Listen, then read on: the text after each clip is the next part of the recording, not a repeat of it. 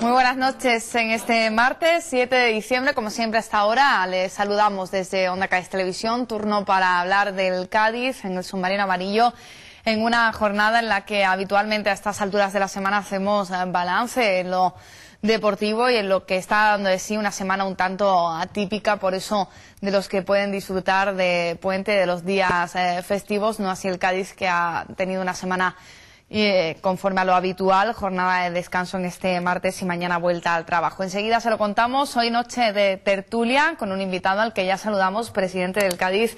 Muy buenas noches, Buenas Enrique noches. Huguet, y bienvenido. Y yo os agradezco muchísimo el estar aquí. Parece que eh, nos hemos levantado todos un poco la moral con estas tres victorias consecutivas. No, no cabe la menor duda. Es decir, la tendencia que llevábamos no era nada buena y se ha revertido, con lo cual tenemos que estar contentos. Ahora enseguida intercambiamos impres- impresiones con, con el presidente del Cádiz, eh, también con Ramón Blanco. Buenas noches. Muy buenas noches, Miriam. ¿Cómo estamos? Muy ¿Mejor bien. del resfriado? Regular, recuperándome del viaje, pero bueno, aguantando. Se ha ganado, ya eso es algo importante y eso te cura más rápido. Eso es la medicina, desde y luego. en cuanto al cambio, cambio totalmente, le dio vuelta a José ya a la media. O sea, Desde yo luego. creo que el cambio fue radical, total. Ayer lo hemos visto en el resumen y la verdad que el equipo ahora da una sensación de solidez, de, de profesionalidad. No solo no profesionalidad, porque yo pienso que todos los jugadores son profesionales, pero se le ve un empaque. Mm, tú estabas viendo el partido con el Puerto Llano, un equipo importante que no había perdido ningún partido, y tú sabías que no, te- no- que no perdía el Cádiz ese partido, y eso es fundamental. Desde luego, hoy para deleitarnos y para irnos con buena cara, que mañana sí nos vamos a tomar una jornada de descanso, tenemos eh, cinco jugadas que hemos destacado de ese partido, eh, cinco buenas jugadas, ocasiones para el Cádiz y, y goles para despedirnos con buen pie, como decimos. Antonio Díaz, buenas noches. Buenas noches, Miriam. ¿Qué tal? ¿Cómo estamos? Ah, muy bien, hoy, como dice Ramón, jornada de descanso para el Cádiz, no para nosotros. Y tenemos aquí al presidente a ver qué nos cuenta, qué cambio hay, qué novedades, qué cosa que, que anime a esta afición que está bastante decaída. Y ha llegado José González y lo ha levantado, y la ha levantado un poquito. Bueno, pues enseguida le preguntamos al presidente, comentamos no- novedades y otros asuntos que le vamos a avanzar en nuestro vídeo sumario. La plantilla amarilla tuvo hoy jornada de descanso, mañana vuelve al trabajo para preparar el choque contra el Sevilla Atlético. Entrenadores del fútbol analizan el actual momento del conjunto amarillo tras la llegada de José González. Mañana en el Rosal se disputará el derby de tercera división entre el Cádiz B y el San Fernando. Análisis de las mejores jugadas del partido disputado por el Cádiz el domingo en Puerto Llano.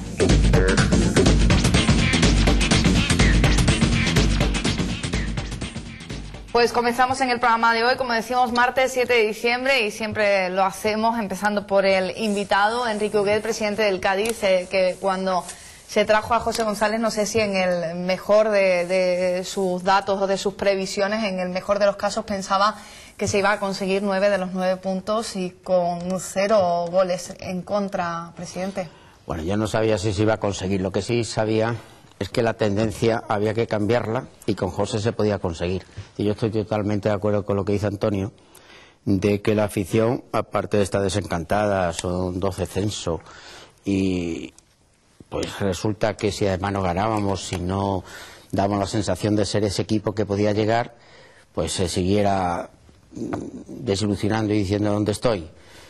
José ha conseguido con sus resultados que esta, esta tendencia mm, dé un giro de 180 grados, eso es evidente. Y ahora toca, toca la tercera pata de, de lo que nosotros siempre nos hemos propuesto, que la afición, que la principal, que la afición vuelva.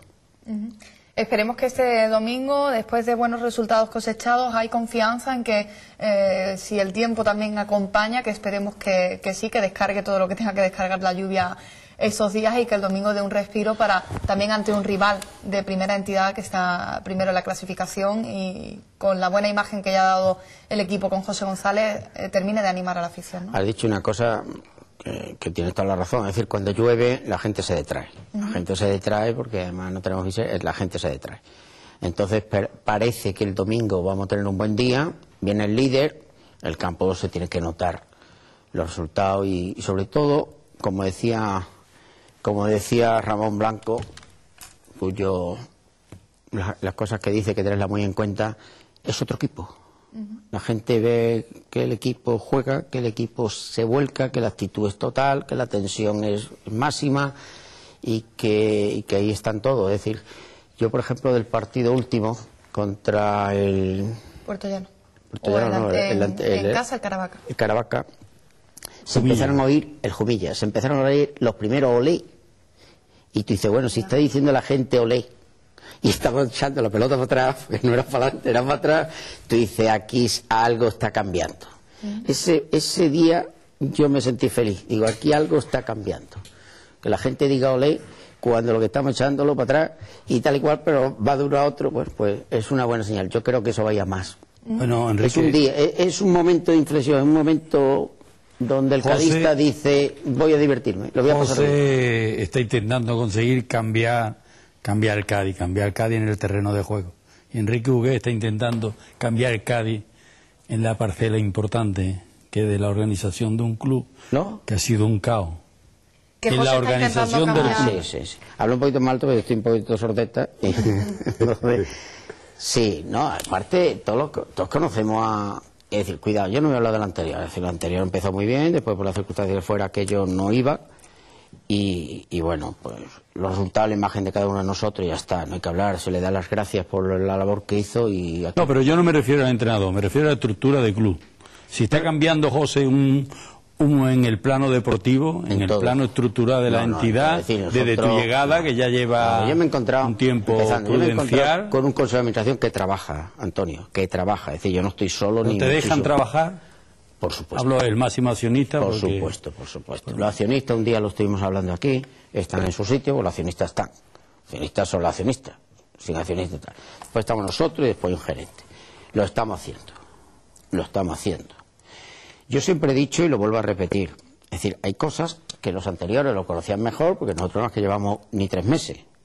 Es decir, que el día 14 o 15 es cuando llegamos. Hay datos que hay que preguntarle porque lo conocen mejor.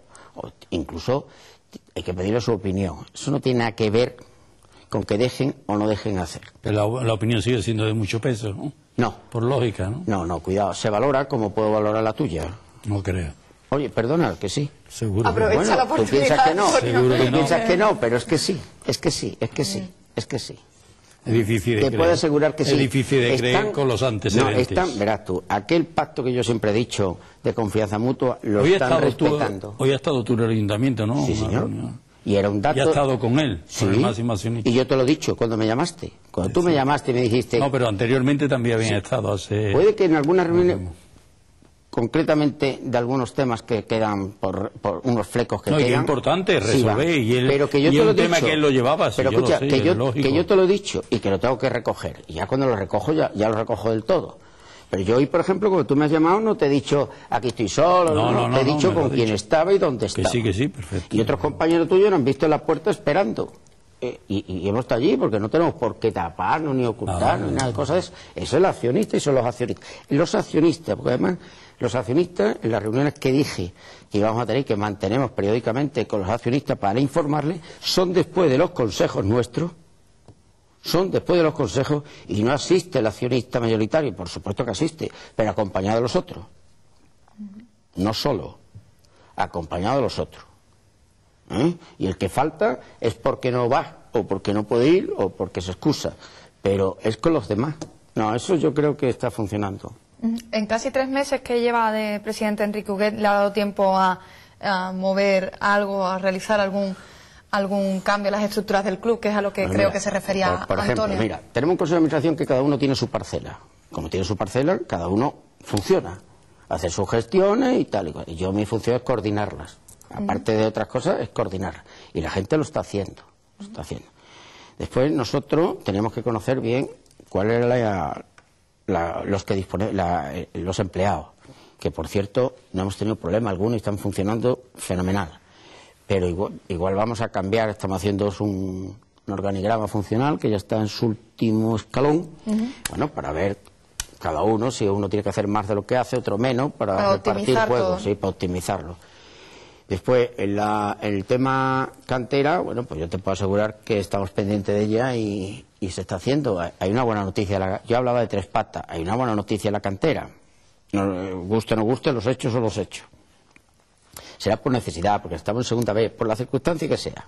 Pero tenemos en el primer equipo, que ya estaba consolidado, Dani Miguele y Fran. Dos. Entraron Germán y Miguel Ángel Caballero, que, lo está, Miguel. que ya está ahí. Y los otros dos han jugado hasta ahora. Es decir, el que lo ponga o no lo ponga ya es un tema de entrenador. Ahí no entramos. Ahí no entramos. Cuando nos ha faltado un tercer portero, Juan Fran, de la cantera. Dieguito, que ha sido convocado tres veces y que está ahí y que se cuenta con él. Cuando falta una izquierda izquierda, tú lo sabes, se pone a a- a- se llama Dieguito.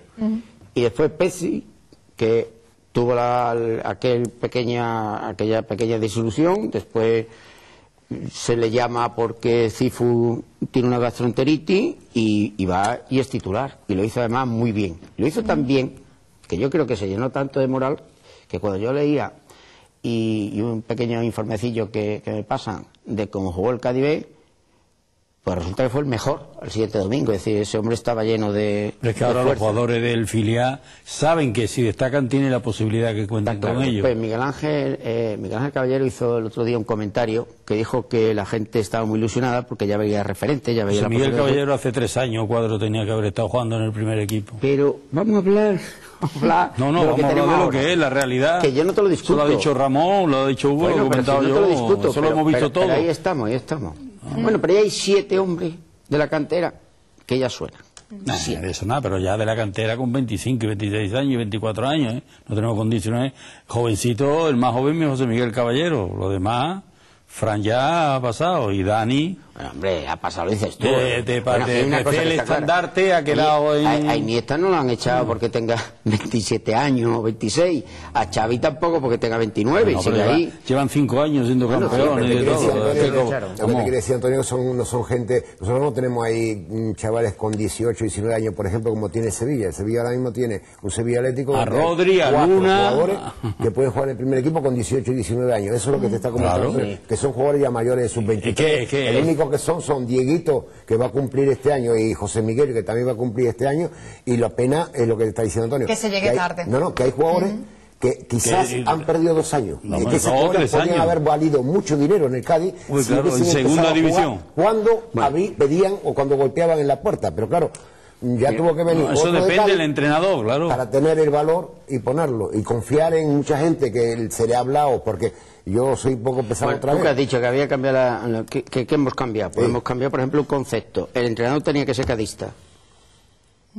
Pero vamos, que eso se podía haber hecho a principio de temporada, Bueno, que, yo- que estaba en no- paro el entrenador háblame- también. Háblame de lo que yo conozco. Sí, no pero eso lo ha perjudicado a la afición y al Que club, no lo ¿eh? sé, que no lo sé. Tú me hablas... Porque vamos, la tú me imagen, que ha, ahora. El la, la imagen que ha dado el Cádiz en el tema de Vidakovic ha sido lamentable también. ¿Por? Hombre, que un club como el Cádiz, el entrenador se tenga sentado fan- dos domingos fuera del banquillo. Bueno, es que hay una cosa que tenemos que ser muy respetuosos, y este no es el foro, pero nosotros estamos en concurso. Y como estamos en concurso, tiene, eso tiene un protocolo, y tiene unas fechas, y tiene unos informes que hay que presentar, y hay que justificar la desviación del presupuesto si se produce, porque si no, no te lo permiten. Es decir, que no es tan. eh, es un poquitín más complejo. No digo que sea difícil, No, ¿eh? más he dicho complejo, más ¿eh? complejo. Ahora está en concurso. Y ya que han salido los administradores, tengo que decir de ellos, de los tres, que son unos señores que a cualquier hora que se les llame están disponibles. que te analizan o te orientan cómo analizarlo enseguida, rápido, y que deciden también con una rapidez tremenda. Es decir, que no, pero hay unos, pero hay un protocolo que hay que cumplirlo. Bueno, Tú igual la, puedes La tomar economía una no está bollante. Hay que, ¿Eh? que la economía no está bollante. Bueno, pero la economía vamos a cubrir el, el presupuesto con total seguridad, con total seguridad. Hay que, tranquilidad que en no ese digo, sentido. que no Y discuto. puede haber refuerzo ahora que llega el mercado de invierno. Eso- ¿Hay alguna eso- partida? ¿Hay algo, eso- Enrique? No, eh, habría que justificarlo también, pero ¿qué quiero decir? Eso ya es un tema de, de los técnicos. Sí, pero si te han Todos dicen comunicado, que hay una si buena los técnicos, si los técnicos te han comunicado algo que se podría hacer algún, si se podría No te hacer olvides que tenemos esfuerzo para 22 traer algún jugadores. jugador. No, tenemos- no te olvides que tenemos 22 jugadores, que es el máximo. Es decir, que Sí, pero eso que de ser tener, una igual, sustitución. borrar. Bueno, tenemos 22. Eso es como eso. Bueno, pero son escribir 22, borra, son pues, 22, en la plantilla del Cádiz igual. Pero que ya eso los técnicos, ahí no voy a entrar yo. Ahí- Sí, ahí- pero te han pedido algo, te han pedido algo Hasta ahora nada. Hasta ahora todos dicen que tenemos una excelente plantilla. Que yo no discuto que después, o con más tiempo o menos tiempo, que no lo sé, se hable de un puesto determinado o de un señor que se piense que puede estar lesionado. Que eso no lo sé, pero será otra circunstancia. Hoy por hoy, todos dicen que es una buena plantilla y aseguro que al día de hoy nadie me ha dicho de la posibilidad de reforzar la plantilla. Y en Bueno, caso, y en estamos- caso, Cuando digo nadie, digo Roberto Suárez, Sí, sí, otro, sí, tal, eh. bueno. y en caso de, de refuerzo, lo, no- lo normal es que lo que decía Enrique, para entrar uno tiene que salir otro. O sea, entonces se jugaría un poquito con la salida, el dinero que dejaría de cobrar este, pues lo cobraría que viniera. O sea, una cosa para que no haya problema en el aspecto económico, que sería lo lógico. Pero bueno, eso ya. Y ahora mismo y después de tres victorias, ahora os pregunto a ustedes, Antonio y Ramón, ¿ustedes veis la necesidad de, de Todo- traer a alguien todo- o lo todo lo que condicionáis sea, al próximo todo partido? lo que sea mejorar Claro. Es, Es bueno, bueno, es bueno. Si el sí. técnico dice, si le ofrece un determinado jugador, que yo sé que se lo han ofrecido al Cádiz, un jugador muy bueno para esta categoría y ha jugado en segunda además, pues eh, yo creo sí es bueno y va a mejorar lo que hay. Eso mejor, es sumar, claro. no restar. Claro, cuanto más, más- o sea, cuanto más elementos buenos tenga, más facilidades es para conseguir el objetivo. Entonces, todo lo que ahora para traer medianías o para No. traer lo mismo que tenemos en casa en la cantera, ¿no? Exacto. Porque Me quedo eso- como estoy. Hasta, Exactamente. hasta ahora los fichajes de invierno estadísticamente no han dado resultado quitando el tilico y Algunos. quitando dos más. Algunos, de Articia, los míos Articia. los míos sí, Los sí, sí. porque yo te, Lu- tengo Lucas. Lucas Ahora, Lobo, Lucas Lobo, si se hubiese, si se hubiese Ari- fichado del mercado de invierno a principio de temporada, hubiésemos quedado en primera. eh, te, te podemos nombrar unos Hombre, cuantos. muchísimo. Pablo Hernández no vino en el Ariel invierno. Zárate Pablo Hernández el Pablo también. Hernández también. Hay Antes algunos lo que- hizo debutar José. Claro. José, José. Y, a, y a Enrique, y a Enrique que venía del Cacereño, tercera También, división, lo hizo digo. lo fichó vamos a esperar porque te puedes llevar la sorpresa de que el, el refuerzo, sí, que, que- que estoy hablando, cuidado, totalmente hipotético. Yo estoy convencido que, que sabrá dónde están, cómo está y, Sí, sí, lo y- sabe, y por que, y que- supuesto. y que pueda ser posible. ¿no? Bueno, pues precisamente vamos a echar un vistazo a la plantilla, tirando en este caso de imágenes de archivo, porque hoy, como viene siendo tradicional, los martes es jornada de descanso después del partido del domingo y después de que hubiera ya sesión de entrenamiento en la mañana de ayer lunes, ¿no? Sí, ayer, ayer nos contaba José González cuando estuvo allí con nosotros en el programa que eh, hubo un trabajo intenso para los que no habían viajado, porque claro, él lo que no quiere, quiere que eh, los que no jueguen Que los domingos ritmo. acumulen el mismo esfuerzo y el mismo tiempo de trabajo que los que han ido. Y la verdad que fue un trabajo intenso, duro, solamente los que jugaron allí en Puerto Llano fue los que tuvieron descanso.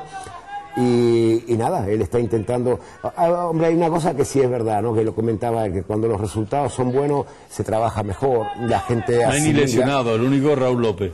Raúl López sí, porque Germán Ah, ya no, empezó Germán a ha trabajado con el grupo y, trabajando. y es Raúl López pobre que tiene que ir dando cabezazos contra las paredes, porque es una pena que cuando el equipo ya mejora, cuando él estaba- cuando él estaba cogiendo su ritmo, pero bueno, yo creo que no, José lo tiene bastante claro.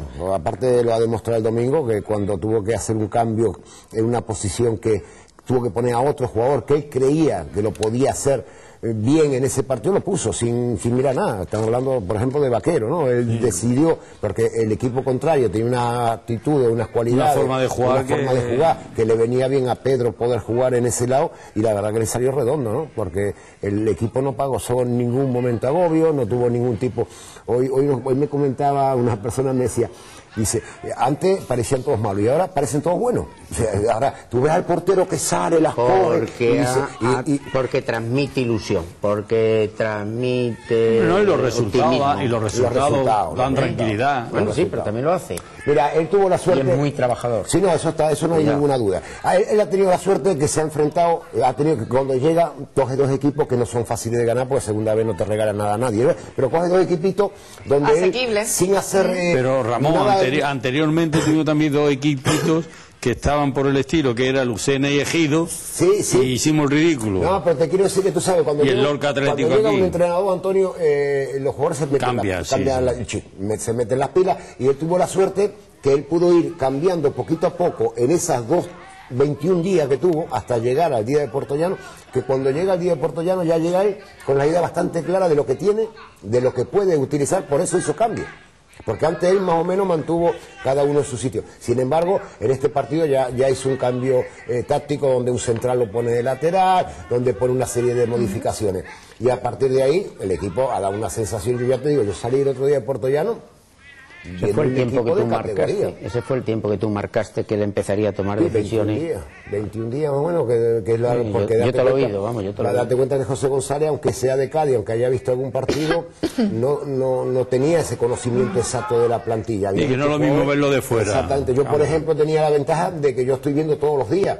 Y yo he hablado con José mucho de- de- desde que se hizo cargo del equipo. Y yo hablo porque soy amigo de él y porque yo quiero ayudar al Cádiz también. Y si a mí me preguntan sabemos, cosas, nos costa, nos costa. yo hablo con él y hablamos de cositas y de esto, lo otro, porque yo creo que eso es inteligente. O sea, tener una persona que conoce, que va todos los días, que ha visto todos los partidos, pues yo creo que eso es inteligente. Y eso no quiere decir que yo haya hecho nada el otro jueves. O sea, igual No, que si sí, tú me preguntas, yo ¿por te no? contesto, pero te quiero decir que. Yo creo que José ha sido inteligente, ha empezado la casa por donde la tenía que empezar, que es por atrás, y poquito a poco se está viendo, porque los primeros partidos tenían un problema, no llegábamos arriba, muy poquito. Sin embargo, mm, ahora lo vamos a ver, no, voy a- no es que lo voy a decir yo, ahora lo vamos a ver. No, ya lo vi- ya lo vimos ayer. ayer, y la verdad que el equipo llegaba Sí, arriba con una facilidad tremenda, ¿no? Pero ahí es donde se ve, eh, creo yo, que, que lo único que, que tengo con el fútbol es ese programa a diario, el verdadero valor de, de un entrenador, ¿no? Como una, pan- una plantilla cambia totalmente y se vuelve del revés casi en cuanto a imagen y en cuanto a juego, cambiando eh, solo al entrenador, porque son los mismos Pero- que jugaban sí, no, hace pero- dos meses. Pero ¿sabes cuál es el problema? Mira, eh, eso depende de la persona que manda. Cada uno tenemos una forma de mandar. Por Y no- eso y digo. No todas son acertadas. Entonces, Risco para mí me parece es un tío estupendo. Y, y- y ojalá tenga suerte en Sí, hombre. el equipo que Por vaya, porque una persona estupenda, o serio, un tío honesto, pero tenía unas ideas que no funcionaban aquí. Y no tuvo la, ¿cómo te puedo decir? La inteligencia no, porque yo creo que es inteligente, sino decir, no, esto no funciona, lo voy a, lo voy a dar, lo voy a poner de otra manera. No, él venía con unas ideas y quiso morir con esas ideas. Se empecinó en eso Exactamente, y- dijo, esto es lo mejor y esto es lo que voy a, y voy a morir con eso. Aparte que lo decía cada semana. Y claro, y murió con eso. Murió deportivamente hablando. Entonces yo creo que ahí él tenía que haber sido valiente porque los entrenadores podemos jugar de muchos sistemas. Es que no hay un sistema para jugar. Se puede jugar de muchas maneras, eh, depende de los jugadores. Eh, tú quieres hacer una casa que va a ser muy bonita ahora, pero claro, depende del terreno, depende de cómo se pueda poner. O sea, el fútbol es igual. Y del dinero. Y del dinero. A mí me lo va a contar. No, y esa es la realidad. Eh, tú no puedes que- jugar como tú quieras, tú tienes que jugar como el equipo pueda jugar. Y eso quizás la virtud de José. Del dinero, dice Antonio, ¿tú crees que algunos defensas y algunos señores que firmamos anteriormente de 350.000, 400.000, 500.000 euros, 600.000 euros eran mejor, eran mejores que otros que tenemos? Tenemos dos que tenemos que cobrar. No, digo, hablo, o de otros que tuvimos que no ganaban ese dinero. Nos hablas de hace dos No, si el campañas. dinero, el dinero no, Ah, es por que supuesto no que el no. dinero es- Pasa que en el fútbol profesional, como se recibe más dinero, se gasta más. claro. Se tiene esa política que para mí es un error, porque se puede... Lo que pasa- Pero eso está... eh, Totalmente en eso, contigo. En eso es importante el director deportivo. Ah, pero- Eso es Totalmente acuerdo contigo. importantísimo. Yo creo que eso, mm, la realidad no es eso en Cádiz. O sea, lo que pasa es que fue el momento donde hubo un cambio de, de dueño. No, Baldassano- no, no, no, si no es Baldassano, hablamos de fichaje de ahora también. No, pero lo- lo- los fichajes caros, caros, caros que vinieron a Nano, fue carísimo, Ramón. Ya. No lo fichó Baldassano. Bueno, Nano sí, fue, Nano fue. Nano fue el más caro que hubo. Álvaro, Álvaro Silva y Fuentes tienen contratos altos para segunda vez, para Claro, segunda para no segunda tanto. vez, pero para segunda no. No, para Estábamos segunda, hablando de para segunda nosotros- hay algunos nosotros que... estamos hablando de Gastón Casa, estamos hablando de Yago Yao, estamos hablando de Parry. Por eso te digo, pero eso es el director deportivo. Eso Es fueron que Félix Carnero Sí, empezó... pero eso fue lo que al Cádiz lo hundió. Hombre, claro. Económicamente, porque se pagaban unas cantidades de dinero que Bueno, ni el Cádiz lo hundió, vamos, el Cádiz lo hundió, no, Ramón. El Cádiz no hundió No, eso. entre otras cosas, No, no, que no hundió. Oye, Antonio, que te estaba dando la razón sobre lo de los futbolistas. Económicamente, ya cuando antes llegaba Aldazano la deuda estaba ahí, vamos a Pero- dejarnos pero de... que la Pero deuda no, fue pero mayor. esa entidad. Sí, fue mayor. Claro, es que cuanto más gasta, más, más debe. Desde luego, si os parece, Y vamos... pero también se recibió dinero ¿eh? por Lucas Lobo y todo, ¿eh? Sí, pero Y Jonathan Sesma. Sí, esos eso. fueron los. O sea pero vamos, yo creo que nos vamos, escucha. vamos a poner de Jonathan en la balanza las dos escucha, cosas, ¿eh? solamente te voy a hacer un pequeño detallito de Jonathan Sesma, todavía no se ha cobrado del todo, ¿eh? Cuidado. Si no se ha ¿Todavía queda cobrado, habría que explicar por qué no se ha cobrado. Habría que explicar por qué no se ha cobrado. Eso es otra guerra. Te digo Una que guerra, o sea, se todavía... traspasa un futbolista y una guerra y no se ha cobrado Jonathan No, igual hay un señor que no No paga. se cobra chico, no se cobra. derecho a Eso no más que le pasa, y- y eso no no más que le cobra, pasa al no Cádiz, ¿no? cobra. Habrá cosas raras por ahí, ¿no? No, no hay nada raro, raro. No, tiene que haber algo raro, porque No, no, tú traspasas- asegurar- aquí yo- traspasamos chicos, no se cobra. Pero se perdona, traspasa puede, puede ser ahora que Jonathan se atrase, no. que no pague, que haya que hacer esto, que haya que moverse más para cobrar, todo lo que tú quieras. Cosas raras, no. No, no, no, pero cosas raras me refiero en negociaciones.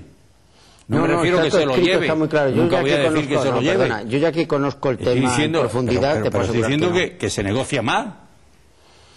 no. No, es que a ver, ¿a quién le explica tú que todavía no se haya cobrado el traspaso de Jonathan Sesma? Es que vamos, me ha dejado Pues, después de cuatro temporadas. porque si un señor dice, pues no pago o dejo de pagar o me ¿Y meto en para este qué está lío, la Liga de Fútbol Profesional? Pues Por eso, eso- digo, tiene que haber cosas extrañas. no. Hombre, Lo único por que te aseguro, hay cosas extrañas. mira, te voy a decir una cosa. No hay nada extraño. en las negociaciones. Perdona, no hay nada extraño porque yo te puedo asegurar que cojo el teléfono para estos temas Pero vamos, Enrique, Y no tengo problema alguno. En el fútbol profesional le obligan a pagar. Bueno, sí, Hablamos pero- del fútbol profesional. Mira, hay un caso que, eso- no, y- y que no voy a dar nombre. estábamos en Hay un el caso que da nombre que se ha pedido hasta embargar las taquillas. Claro. Es decir, que. Y, Y, hay una hora, y si, y, y si hay Ah, una pues- denuncia pues no por, por me- y si hay una denuncia por medio un juez embarga la taquilla. hay. Bueno, pues- si no pues- se ha hecho porque no se ha denunciado, se pues habrá se ha hablado hecho. en plan compadre. Se ha hecho, se ha hecho. se ha No, hecho. mira cómo al Cádiz lo han obligado a pagarle a la gente que tiene que pagarle. Hombre, claro, Si le te está dan pagando. Besario, Todo, y ha, otro, y ha otro, venido, y ha venido la ANFE aquí para lo de la prima, para Claro, negociarla, para cobrarla. claro. Y el Cádiz sigue sin cobrar Jonathan Sesma. Vamos, lo, me ha dejado de verdad, vamos. Bueno, pues te Yo estoy seguro que los piedra, foros mañana queda pendiente. es un aluvión de, de comentarios, porque... Porque lo es haya. Es que No se ha cobrado. increíble, que vamos, habría que pedirle explicaciones o al que lo traspasó, que fue Baldazano, o al que llegó después, que no lo acabo de vender. Baldassano fue que vendió a Jonathan. Pues si fue Baldasano. Sí, pero mm, habría que preguntar que aquí no se sabe si Jonathan Sesma era propiedad del Cádiz o había unas personas por medio. Es que aquí, como no se sabe nada, No, no, no, sí se sabe. Es decir, yo lo que te digo que si fue Baldasano, que no lo sé, no sé cómo Sí, haría fue el papel. Baldassano, ese Baldassano. papel Sí, sí, que decís, fue- no sé si estaría bien hecho o mal hecho. fue lo que sí te aseguro es que estamos pendientes todavía. El tiempo ese que estuvo Baldazano, ¿no? Que, que, Bueno, vamos, se le pues- quiere culpa de todo y seguro Era que no. unas No cifras tiene cada Baldazano. 25 partidos y cada temporada. Ya, y Baldazano la única temporada se va a cobrar. Lo único que yo puedo decir, no Baldazano, de Baldazano, seguro, lo único que puedo decir es que le costó dinero el Cádiz, eso seguro, seguro. ¿Cuánto se adeuda de lo de Jonathan Sesma? ¿De qué? ¿Una No, cantidad de- dos o un fleco una, pendiente? una parece que vamos a cobrar un plazo relativamente corto, que ha llevado, un- por lo visto, hasta judicialmente. Cuatro años, vamos, tardado que- la, la Biblia. Entiendo. Y, y quedan, increíble y, y quedan otros casos que están ahí. Bueno, pues Pero vamos... sí se han puesto los medios para cobrar, ¿eh? Sí, bueno, si la negociación y jurídicamente la ha llevado los de siempre, pues me, me lo, No, me lo- ahí me lo no puedo seas explicar. así, no seas así. No, no sea así, no. No tiene que ver, me, remito, veces- me remito a los hechos. No estoy diciendo nada que sea mentira. Dios me libre. Me remito a los hechos. no, no, no, no, no, Antonio. Si resulta que yo tengo un caso mm, de de una comunidad de propietarios y, y- un papel que tú metes pueden tardar en contestarte no sé cuánto tiempo. Si se está hablando de que yo no sé quién lo van a juzgar al cabo de 15 años, si lo otro y tal. Es decir, no. Hay, un, hay unos sistemas que, que son lentos y son lentos. Bueno, pues nosotros sí que nos vamos lento porque entonces nos comemos todos los vídeos que tenemos eh, pendientes por ver, entre ellos habituales de los martes, amigos de la prensa, de, también del terreno deportivo, entrenadores nacionales. Enseguida vamos con ellos. Antes, una vuelta por las redacciones de algunos eh, medios eh, gaditanos que hablan así acerca de la trayectoria de José en el Cádiz. parece que el Cádiz por fin funciona de verdad. La victoria en Puerto Llano de ayer pues mm, es muy muy valiosa, ningún equipo había conseguido ganar allí. Y la lectura es muy muy muy muy simple. El Cádiz dominó de principio a fin, controló el partido de cabo a rabo y, ganó pues con más facilidad de la que de la que se esperaba realmente, porque nadie podía pensar que iba a ganar 0-2 sin sufrir demasiado y bueno, pues yo creo que el optimismo ahora mismo es la, principal bandera que, puede tener el cadismo. ¿no? El, equipo estuvo muy sólido, controló el partido y arriba, bueno, pues Pachón estaba ya demostrando que es un delantero con un olfato increíble. Ayer tuvo tres ocasiones, aprovechó dos y bueno, tres puntos más. El Cádiz se sitúa a un solo punto del liderato y bueno, pues estamos ahora todos en un estado de ánimo bueno, casi, casi eufórico. Ya José se encargaba de, de frenar un poco esto porque todavía queda mucho camino y vienen partidos todavía más difíciles. Viene el Sevilla Atlético y hay que conseguir pues tres nuevos puntos. Importante victoria del Cádiz este fin de semana en Puerto Llano, un equipo al que José González parece haberle dado la vuelta como un calcetín y un partido en el que todo el mundo decía que podría ser una piedra de toque para el equipo amarillo y finalmente demostró que el Cádiz puede estar este año en la zona alta de la tabla. Un partido muy serio, con especial mención tanto a, a Pachón, con esos dos goles conseguidos, como en el centro del campo, con el trabajo de tanto de José Miguel Caballero como de Carlos Caballero. El Cádiz ahora tiene en Carranza una importante cita este fin de semana con el Sevilla Atlético en un partido en el que seguramente la afición intentará recomponerse de todo lo que lleva sufrido en estas campañas y, estará seguramente al lado de su equipo en la grada del Ramón de Carranza contra un filial que está haciendo las cosas muy bien durante esta temporada pero parece que ahora tiene un pequeño bajón y el Cádiz debería eh, aprovechar esta oportunidad para hacerse, si no con la primera plaza, seguir en la, en la pelea por el, por el título de, de ese primer puesto que facilitaría mucho las cosas a la hora de llegar a los playoffs.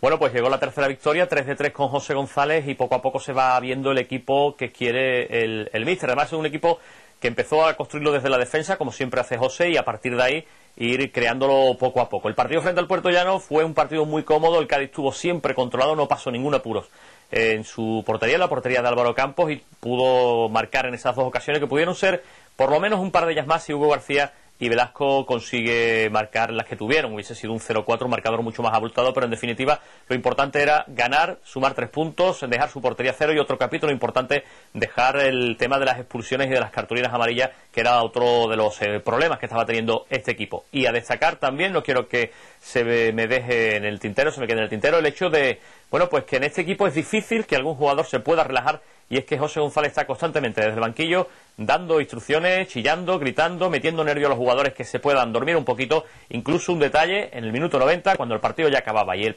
marcador era de 0 a 2, incluso en ese momento estaba con Alfonso Cortijo los dos de pie, indicando, hablando, señalando el campo, seguían trabajando pese a que el partido estaba ya finiquitado con un 0 a 2. Enhorabuena a José González, Alfonso Cortijo, a todo el equipo, 3 de 3 y a seguir. Desde luego, esperemos que sigamos. Eh, gracias a Jesús Jaque del Diario de Cádiz, a Miguel Vallecillos de Portal Cadista y a Manolo Camacho de Punto Radio. Vamos ahora con la ronda de técnicos que se centran también en eh, esas tres victorias consecutivas del Cádiz eh, desde que llegara José González al banquillo. Bueno, pues ha salido todo lo, que todo el mundo quería, ¿no? Un cambio de entrenador, porque parece ser que Vidacovi no, no acertó con, el sistema que, que implantó al Cádiz no quiso abrir los ojos y, darse cuenta de que ese sistema no le iba bien al Cádiz y con el cambio de entrenador pues parece ser que la cosa ha ido bien, ¿no? Ya con el Humilla, aunque no eran un equipo muy fuerte, pero se vio otra actitud de los futbolistas del Cádiz y ya el domingo en Puerto Llano pues parece ser que se hizo un gran partido, las imágenes que vimos ayer en el submarino amarillo se vio que es un equipo más fuerte, la actitud ha mejorado eh, teníamos mucho tiempo el balón, el balón también en nuestro poder y con el cambio este de José, pues eh, parece ser que el equipo puede quedar los puestos que queremos, ¿no? El domingo tenemos un partido muy importante con el Sevilla B, que yo creo que ganando y cogiendo la primera plaza, que es el sitio que se merece el Cádiz, yo creo que el Cádiz va a ir más arriba, van a coger más moral los futbolistas y yo creo que vamos a estar todo el mundo contento. Lo que sí es verdad que, el domingo vamos a intentar que vuelva todo el mundo al campo porque es un partido muy importante porque viene un equipo que, puede ser más fuerte de la categoría con el Cádiz y el Murcia, y ganando estos equipos aquí en, en casa, pues podemos dar un gran paso adelante. Bueno, con respecto a lo que me has preguntado del cambio de entrenador, pues ni que decir queda de que el cambio ha sido, vamos, inmejorable en el sentido, eh, bueno, en el sentido, en todos los sentidos. Porque con, con el entrenador Viratubi, el Cádiz estaba viendo un Cádiz que no jugaba prácticamente a nada, la verdad. Y este cambio con José González, en un principio, bueno, yo creo que se ha acertado, bueno, creo no, lo afirmo. ¿eh? El Cádiz ya tiene un plantel, tiene un sistema de juego, tiene una estrategia que se está trabajando por los tres últimos partidos, vamos, por estos tres últimos partidos que le he estado viendo. No está totalmente al 100%, pero yo creo que vamos, que vamos a llegar. De hecho, ya en este partido último que estuve viendo las imágenes ayer en ese Cádiz ¿eh? la verdad que me dejó muy, pero que muy contento. ¿eh? Eh, ya se vio otro Cádiz que parece ser que, que va más, ¿no? Y ahora tenemos un partido ¿eh? el domingo contra el Sevilla Atlético que yo creo que, que ya ahí va a ser va a ser fundamental para que el Cádiz pegue el tirón que todo el cadismo quiere que, que pegue, ¿no? Bueno, la llegada de José, evidentemente, ha venido a demostrar eh, la gran mejoría que, que el Cádiz está, exponiendo, ¿no? Pues, no sé, ha hecho cinco goles, no ha recibido ninguno, nueve puntos de nueve posibles. Y además no le hacen ocasiones de gol. No es que no le hagan, es que ni siquiera le hacen ocasiones. Yo creo que el equipo ha mejorado muy mucho eh, y esto va a servir para ilusionar a la afición, para demostrar que, bueno, que quizás eh, eh, antes el equipo quería hacer cosas para lo que no estaba preparada y ahora pues eh, se impone fundamentalmente y además es muy importante en esta categoría el no, el no encajar goles, ¿no? Y eh, un equipo que lo encajaba con, con cierta facilidad, pues ahora es muy, muy difícil incluso crearle opciones. Yo creo que, que, como decía José, ahora lo importante es ganar. Evidentemente se está ganando, pero además se está haciendo las cosas bastante bien. Por tanto, entiendo que, que estamos en la línea, en la línea de que el equipo ya estamos de segundo clasificado. Eh, tenemos un equipo, un partido importante, pero que incluso podríamos ponernos de primero. Yo creo que, aunque queda mucha, muchos partidos por, por disputar todavía, la mejora de- del equipo es muy importante y tenemos que sentirnos satisfechos con la llegada de, de José porque ha significado mucho para, para la entidad. Dejamos ahí la ronda de técnicos y vamos a otra cuestión, porque después en lo deportivo retomamos el discurso acerca de los partidos que está llevando a cabo el, el Cádiz en esta buena racha que lleva de tres victorias consecutivas. Ahora nos vamos al estadio Ramón eh, de Carranza, donde seguimos eh, muy de cerca la evolución de las obras y sobre todo nos gusta contarles eh, progresivamente detalles acerca de esa infraestructura. Hoy les contamos, por ejemplo, acerca de las oficinas y el equipamiento terciario de ese nuevo estadio. Casi 25.000 metros cuadrados destinados a uso terciario. Oficinas y locales comerciales ya conviven en el nuevo estadio Ramón de Carranza. Una simbiosis que también inspira la última fase del proyecto en la construcción de la tribuna. Bajo, los, eh, bajo las gradas, bajo los graderíos, siempre se ha intentado, se ha procurado aprovechar el máximo de espacio en otros estadios pues para, para colocar los mismos vestuarios, las mismas oficinas de- del club, etcétera, ¿no? Pero de aprovecharla al 100% como está en este caso mm, es raro, es raro encontrarte algún caso concreto. Yo desde luego no lo conozco. Junto al hotel habrá también establecimientos comerciales y administrativos distribuidos prácticamente a lo largo de todo el frente principal de este equipamiento deportivo. La mayor superficie destinada a uso terciario se ubicará en los pisos superiores de la tribuna, mientras que las oficinas del club cadista estarán en la primera planta. Un diseño que no pierde de vista la funcionalidad del nuevo Ramón de Carranza. Para nosotros lo principal era el funcionamiento, la funcionalidad. que El, edificio tenía que funcionar, tenía un montón de problemas eh, de, de- cómo compenetrar todos los usos que iba, que iba a tener, cómo hacer posible la convivencia dentro del mismo edificio del uso deportivo, el uso hotelero, el uso, el uso eh, terciario, el uso comercial, el uso de aparcamiento. Eh, todo eso ha habido que compaginarlo y, yo creo que se ha logrado, se ha logrado mm, eh, un resultado óptimo. Ya hay firmas comerciales que se han interesado por ubicarse en la tribuna del estadio. Compañías de primer orden que junto al Supersol de preferencia y las sedes administrativas ubicadas en los fondos completarán la dotación terciaria del nuevo estadio municipal. Bueno, pues así se lo hemos eh, contado y ya nos consta que hay muchas empresas de primer orden que se han interesado por ubicarse en esa nueva tribuna, porque si bien es cierto que la ubicación es de primer orden de cara a interesar a, a cualquier empresa. ¿no? Yo, se habla mucho, dice, el Cádiz va a tener un gran estadio, por supuesto. Un estadio además que te tiene que ayudar a estar en segunda A, incluso la posibilidad de estar en primera, ¿por qué no? Como mínimo Porque- segunda A. por- Porque está. 25.000 espectadores.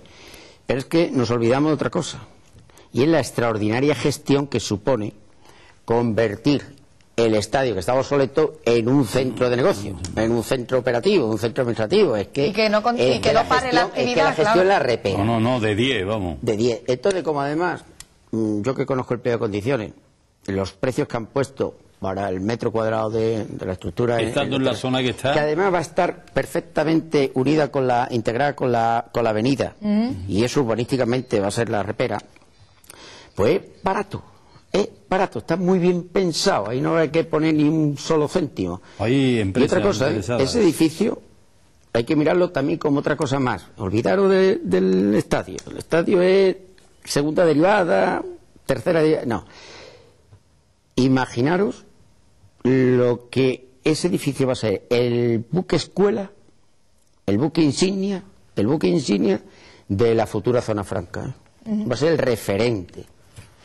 Bueno, es pues- una extraordinaria Pero, gestión. pero el estadio, eh, lo que es el fútbol es muy importante. ¿eh? Oye, que sí. No se queda en bueno, oye, ¿eh? que dice la Constitución que hay que lleva- apoyar, lleva que hay que los apoyar domingos. los deportes de masa, lo dice Lleva la Constitución, lleva que todos hay los apoyar. ahí a 25.000 personas, a 24.000 personas. No, verlo lleno en- tiene que ser verlo una lleno, gozada. Eso en Cádiz. Mira, yo no digo que vayamos a ver a Ronaldo, pero vamos a ver. ¿Por qué no? Lo que sí, Lo vamos a ver, vamos lo a ver. hemos visto a Vamos Ronaldo ver. aquí. Con esa ilusión, hay que trabajar, ¿eh? Lo, lo que sí es de que vamos a ver al Ronaldo, ¿eh? Sí es cierto es que nadie le ha sacado tanto provecho a un campo de fútbol como el- en Cádiz. Es una Es verdad. Esa es que- la realidad- Bueno, pues la gente no valora de- la- esa gestión. Y esa es la gestión. La gestión es que eso se ha convertido en un centro Se han con gastado un motor. eh, Puerto Llano un campo precioso. Económico. Puerto Llano, pero es un campo de fútbol, no, no- no- no hay más nada. O sea, es un campo, campo de fútbol, Es un ¿no? motor. O sea, y, y, eh, tú ves el Carranza y que ya tú no sabes si es un campo de fútbol, un edificio, una obra. Hombre, es que hay allí juzgados, hay un Es- es que, supermercado, no, no, hay, de todo. cosas. Y, y verdad. le- en el fútbol yo no, yo no, no ahora mismo no tengo en la mente. ¿Sabe lo que he hecho de menos, de- Lo que sí Espero que- cuando esté terminada la tribuna que se vea una buena cafetería. y un buen restaurante. ¿no? Es verdad, es Y verdad. Un buen no, no. restaurante para ir a comer ¿Eh? algo. Desayunar Señores. Os digo en esta mesa, el Cádiz siempre ha dado que el Cádiz tenía unos derechos antiquísimos, tenía unos derechos, el Cádiz no ha puesto jamás pega alguna, el Cádiz no ha dicho nada, ni Que pega, le mía. poner Cádiz y le Hombre, ganas un estadio nuevo. Lo único que le o sea, pasa pero es para que hacer el una Cádiz carretera, hacer una carretera te, tiene- te tienen que expropiar, ¿eh? Si tú quieres hacer en tu casa No, sí, una rehabilitación si te tienen que realojar, si ¿eh? tú No te tienes un olvides, terreno no y te te van a olvides. expropiar, te dice No 20 te olvides. kilómetros más allá te vías un edificio. Sí, pero mientras tanto tendré que comer, ¿no? Bueno, pues Y ya tendré que seguro, dormir. seguro que se Y tendré que otra dormir. cosa. Bueno, vale, Vamos se buscan a, otros medios. vamos a dejarlo ahí porque no queremos dejar de, de comentar acerca del Cádiz B porque hoy estamos prácticamente en la previa de ese partido. Algo así que no porque teníamos pendiente un vídeo acerca del centenario que nos lo guardamos porque aquí los muchachos como no hablan pues pasa el tiempo y no hay manera. Qué suerte tiene Hugo Vaca, tú. Sí, qué suerte tiene Suerte Hugo que tiene. se guarda el trabajo para la semana que viene. Ya tiene Qué un trabajo suerte tiene menos para la Hugo. semana Más que suerte viene. tengo yo que no vengo hasta el lunes que me voy de vacaciones. Nada, que lo pases bien. sí, sí. Me va a Vamos París, a, a París. Sí. Vamos a hablar del Cádiz B, que hay un derby importante entre Cádiz B y San Fernando, que esperemos que los chicos de Ángel Oliva sigan la estela de- Una- del primer equipo, ¿no? Bueno, un partido mañana, un partido importante, un derby de la Bahía, ¿no? Cádiz-San Fernando.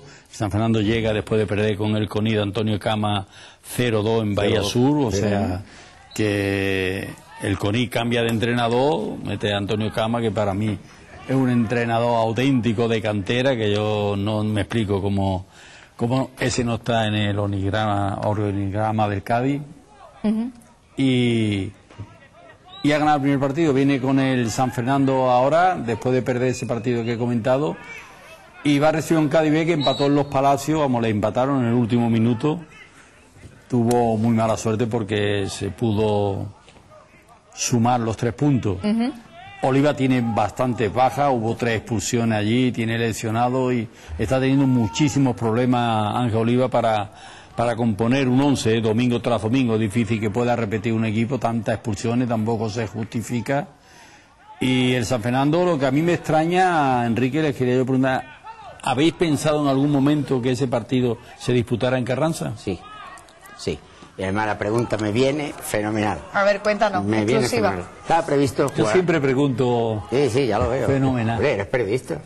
Y además un buen periodista. El- vamos a ver. Estaba previsto en el Carranza. Entonces yo la semana pasada, en vista de las lluvias, etcétera, etcétera, pido un informe. Ese informe me dicen que se ha resembrado en la preferencia, me dicen que el campo está muy blando, que el agua acumulada en la, Hay en la sobra, ¿no? de alguna manera puede estar filtrando y que el campo que es muy difícil que se pueda recuperar y si se quiere hacer entrenamiento. Entonces yo con esa información llamo al presidente del San Fernando, pongo en contacto con él y le digo lo que pasa. Y entonces este señor lo entiende, fenomenal, lo entendió, me dijo que lo comprendía, patatín, patatán y tal. No obstante eso, de que lo comprendió, le puso una carta, le puso una carta diciendo que le agradecía su comprensión y ya está, y ahí se quedó el tema. Esta carta salió el viernes, es decir, que no es de hoy ni de ayer, el viernes, porque mañana daba agua, eh, es decir, estos informes que tenía. Entonces, pero quiero decir Que se ha tenido la intención que si, que no, si no hubiese que habido sí, agua que ni el y presidente tal. del San Fernando estuvo en señor, lo entendió y me lo puso todo muy fácil. Y me lo puso todo muy fácil. Después ha habido otro pequeño incidente que no quiero que se malinterprete, y es que se habían puesto las entradas a 10 euros adulto, cuando normalmente en el Rosal creo que están a 7. Entonces, es que pensábamos que iba a ser precisamente en el Carranza. Entonces el Carranza tiene muchos más costes, porque tiene que poner más portero, tiene que poner más esto y tal, y entonces esos costes habíamos previsto que podían ser por los señores que pudieran venir de San Fernando, nuestros amigos de San Fernando, ¿no? porque Ujú. somos todos lo mismo, eh, que podía ser ese coste. Como definitivamente mm, se juega en el Rosal, hemos dado marcha atrás, que no pasa nada, y sigue siendo a 7 y a 3. Todo que eso se va a poner hecho- a- a 7 euros a la siete entrada. Todo eso se ha O sea que hecho, no- no- todo eso se ha hecho a otra pastilla. Y 7 euros el precio normal de todos los El domingos. el de todos los partidos, sí. Nosotros tenemos que tratar a todo el mundo por igual. Aparte que hay un problema que, eh, date cuenta que el, el Cádiz juega este domingo, porque si el Cádiz jugase fuera habría más tiempo Sí, para claro, de recuperar, Pero no, claro, no, no, ahora sí. mismo como está el equipo y como hay que mirarlo todo, yo a mí me hubiese gustado también verlo en Carranza, pero Sí, bueno. Ramón, pero te puedo asegurar que ha No, sido con informe, claro, que no, ha sido no, con no, informe, que ha sido pidiéndolo, que lo he llamado. Y viendo cómo está el tiempo y cómo está lo Que que lo he dices tú, llamado, el agua que- hay que- allí de en la tribuna. El Cádiz ahí. Bueno, el y esto y, eh, el Trelle lo entendió, ¿eh? Lo entendió, es decir, que nuestra conversación fue Bueno, un poco- Hombre, cuando hay buena Exacto. voluntad, pues, Aparte, yo pienso, hombre, yo pienso que a San Fernando le va a venir bien porque está mucho más cerca, bueno, está más a lo me- mm, parejo. Y venir a Cádiz o ir al Rosario, Da parejo. igual. Pero allí va a haber mucha más gente de San Fernando que de Cádiz, seguro. Bueno, aclarado queda mañana el partido, entonces Está en las ¿no? instalaciones A del 12. Rosal, ¿a qué A hora? las 12 del mediodía. A las 12 del mediodía y con esto y un bizcocho está- nos vamos ya, ¿Ya? porque nos hemos... Sí, Yo eh, quería- no hay jugadas yo y no hay quería- nada porque nos quería tenemos ver que la jugada. Lo siento, pero ya veis, eh, me traéis al presidente, me ponéis muchos No, vídeos, no, es eh, incompatible, no, no, puede eh, ser lo uno del y... presidente había cosas que hablar y se ha hablado, eso Perfecto. es importante, ¿no? Pues Para... eso. Yo por mi parte, gracias a... Yo una cosita, entonces, yo una cosita, empezá ya a olvidar a los accionistas, dejarlos ahí. No se puede olvidar, vamos a ver. Yo que- como voy a olvidar a los que accionistas, venga, vamos a ver, ahí, hombre, déjalo ahí Enrique, que lo ¿cómo hacen voy a muy bien olvidar al porque son accioni- accionistas. Al máximo accionista cuando lo veo con Luis Sánchez Grimaldi y con lógico. otro señor reunido para y con y con Santiago Poza. Poza. Lo veo por la avenida, lo tengo que decir porque se han reunido Y me seguro que estará conmigo y lo hablando conmigo, y, no lo veo ver. entrar en el club del Cádiz es que es normal, eso no tiene que Entonces, ver, eso no tiene nada que ver. como que no tiene nada que ver. No tiene que ver. Si Yo delego, delego y dejo a uno a unas personas al cargo del club, eh, eh, Yo vale, cuando te haya aseguro- junta y tal, que esté allí, te ¿de acuerdo? aseguro, y si no será fácil cogerme, te aseguro que nosotros, el Consejo de Administración, es soberano.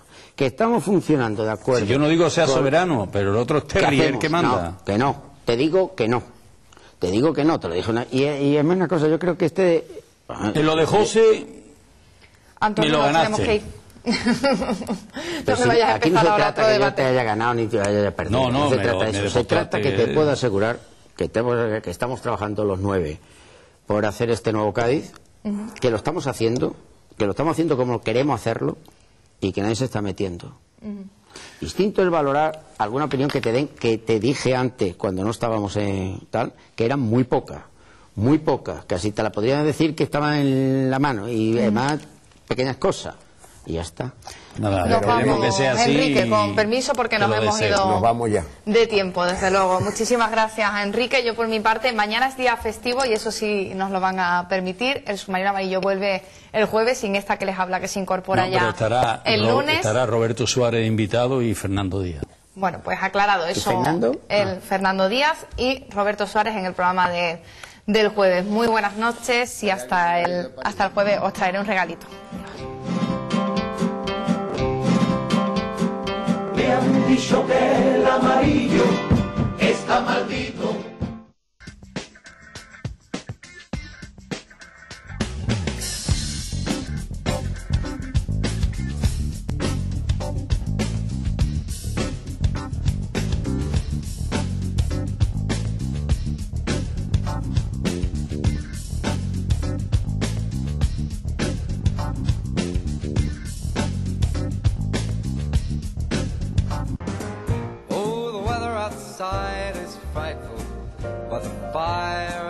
So delightful. And since we've no place to go, let it snow.